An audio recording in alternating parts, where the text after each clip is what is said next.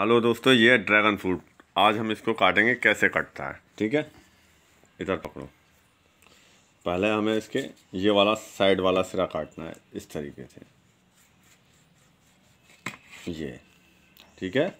उसके बाद हमको ये दूसरा सिरा काटना है।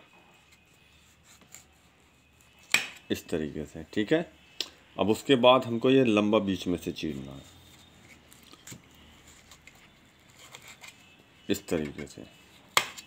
ठीक है? उसके बाद हम इसको यहाँ से साइड से छुटाएँगे ये। ये आसानी से छुट जाता है बहुत। इसको यहाँ से छुटा के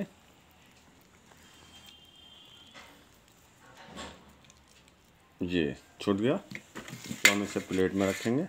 और ऐसे ही ये दूसरी साइड भी छुटानी है हमने। ये।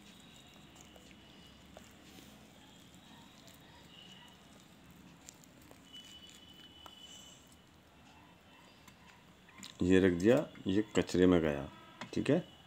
अब इसको हमने इधर रख दिया। उसके बाद इसके टुकड़े कर देने हैं।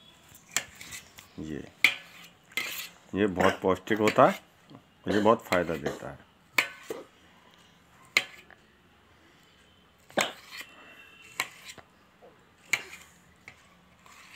अब ये ड्रैगन फ्रूट कट के तैयार हो गया। ओके?